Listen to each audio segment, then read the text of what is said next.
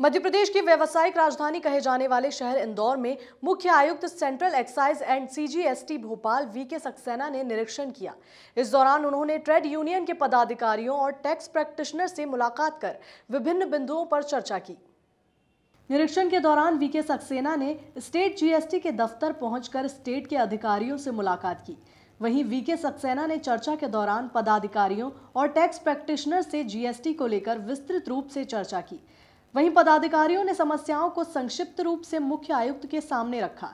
इस दौरान पदाधिकारियों ने रिटर्न में होने वाली गलती रिवाइज करने की सुविधा के साथ ही विक्रेता की लाइबिलिटी भी हटाने की मांग की। वहीं मुख्य आयुक्त ने समस्याओं का निराकरण भी किया।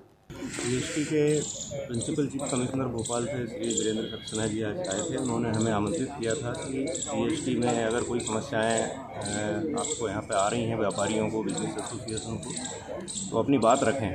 हमने संक्षिप्त रूप में अपनी बात रखी कि जीएसटी बहुत अच्छा अप्रत्यक्ष कर कानून है। देश के इतिहास में इससे अच्छा कानून आज तक कभी बना नहीं है। टोटली पारदर्शी व्यवस्था है। बेसिकली क्या समस्याएँ जो आपने समस्याएँ कंप्लाइंसेस को लेके हैं मेजर जैसे पोर्टल पोर्टल की गलतियों की वजह से पोर्टल चलता नहीं है आखिरी दिनों में, उसके दो दिन डिले हो गया तो व्यापारी उसकी विलम्ब शुल्क उसको भुगतना पड़ती है।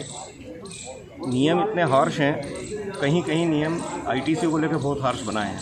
सपोज़ करो विक्रेता ने माल बेचा ये क्रेता है क्रेता ने माल खरीदा। अब विक्रेता अपना रिटर्न फ़ाइल नहीं कर रहा है तो क्रेता को उसने जो टैक्स चुकाया है उसकी छूट उसको नहीं मिल रही है समय से। उसके ऊपर जवाबदारी लाद दी गई कि आप पहले विक्रेता को प्रेशर करें कि वो अपना रिटर्न भरे तो ही आपको छूट मिलेगी। ऐसा नहीं होना चाहिए। खुद वापस इस दौरान मुख्य आयुक्त वी के सक्सेना ने मीडिया से बात करते हुए बताया कि अभी तक पूरे देश से पैंतीस हज़ार करोड़ टैक्स आ चुका है। वहीं मध्य प्रदेश ने भी अभी तक 600 करोड़ टैक्स प्राप्त किया है।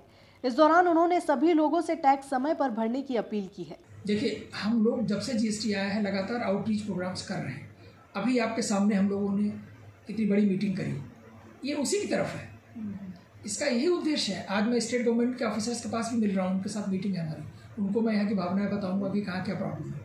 तो बिजनेसमैन के लिए ही ये सिस्टम बना हुआ G S T is for business not for anybody और बिज़नेस को अगर हम कंफर्टेबल नहीं रखेंगे तो हमारा काम कैसे होगा? वहीं से हमारा रेवेन्यू आना है। तो उनकी समस्याओं का समाधान लगातार जारी है। देखिए, अगर ये मैं कहूँ कि दो साल बाद समस्याएँ नहीं होंगी तो ये भी ठीक नहीं होगा। समस्या तो हमेशा रहती है। सेंट्रल एक्साइज 1944 का एक्ट है और अभी दो साल पहले तक समस्याएँ उसमें आ रही थी। तो कुछ ना कुछ तो समस्याएँ बनी ही रहती है, जो कि सिस्टम का हिस्सा है। Bureau report JSR Times Indore.